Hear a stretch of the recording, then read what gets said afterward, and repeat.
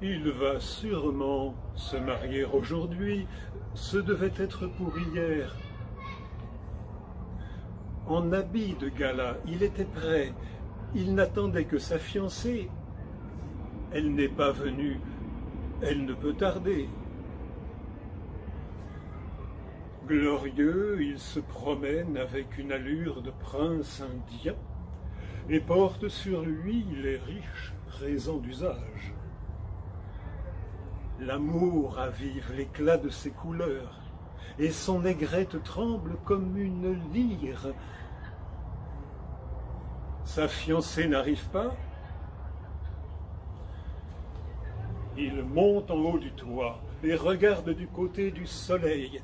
Il jette son cri diabolique. Léon Léon, c'est ainsi qu'il appelle sa fiancée.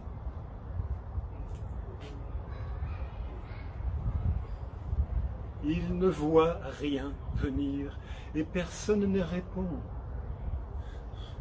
Les volailles habituées ne lèvent même point la tête, elles sont lasses de l'admirer. Il redescend dans la cour, si sûr d'être beau qu'il est incapable de rancune. Son mariage sera pour demain. Et, ne sachant que faire du reste de la journée, il se dirige vers le perron.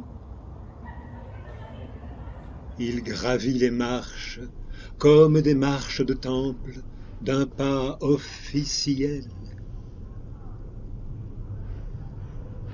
Il relève sa robe à queue, toute lourde des yeux qui n'ont pu se détacher d'elle.